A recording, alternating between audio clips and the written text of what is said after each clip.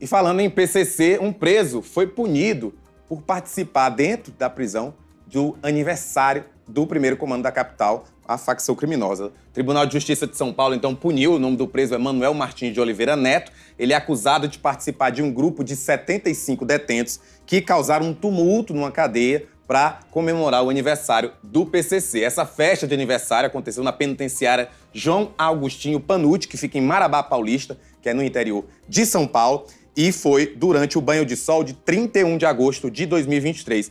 Nesse dia, 31 de agosto de 2023, o PCC completou 30 anos. E, segundo aqui a matéria da nossa equipe de São Paulo, por volta das 13h30, né, uma, uma e meia da tarde, os presos que estavam no pátio começaram a repetir os gritos de PCC e 1533. Essa sequência numérica, ela faz referência ao à facção criminosa. Eles foram alertados pelos agentes penitenciários de que eles estariam cometendo um crime, que é o de apologia ao crime, mas eles teriam dito que não iriam parar porque estavam fazendo aí, comemorando o aniversário do comando.